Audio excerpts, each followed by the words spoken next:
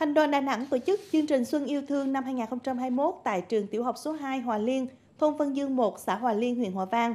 Ban tổ chức đã trao 60 suất quà, mỗi suất gồm bánh kẹo, dụng cụ học tập, áo ấm, sách vở cho thiếu nhi có hoàn cảnh khó khăn đang theo học tại trường tiểu học số 2 Hòa Liên. Ngoài ra, còn trao thêm hai chiếc xe đạp cho hai em học sinh có hoàn cảnh đặc biệt khó khăn. Tổng kinh phí là 40 triệu đồng, được Thành đoàn Đà Nẵng vận động từ công ty cổ phần ô tô sông Hàn quyên góp. Thông qua chương trình, ban tổ chức mong muốn mang đến cho các em một cái Tết ấm áp và ý nghĩa.